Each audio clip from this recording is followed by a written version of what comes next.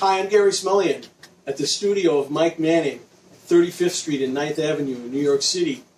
And I'm holding in my hand his newest addition to his line of cases, which is a carbon fiber baritone saxophone case.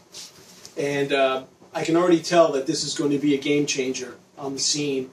Uh, it's 20% lighter than the standard fiberglass case, and this has the horn in it, and it's already a lot lighter. Um, and you, some of you might really think that it's out of your price range at $1,900, but let's bear in mind a few things. Keep in mind a few things that it's a, it's a lifetime guarantee, and if you even get, say, 10 years out of it, that's $190 a year, less than $20 a month. You can own one of these cases. And it's really going to change your life. Uh, for those who travel all the time, like myself, and often have to gate check, your instrument, this case, is indestructible.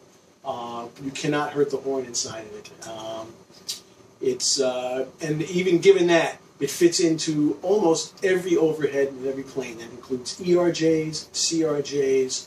Um, I've rarely had an instance where it doesn't fit into an overhead space, or it easily fits in the closet as well.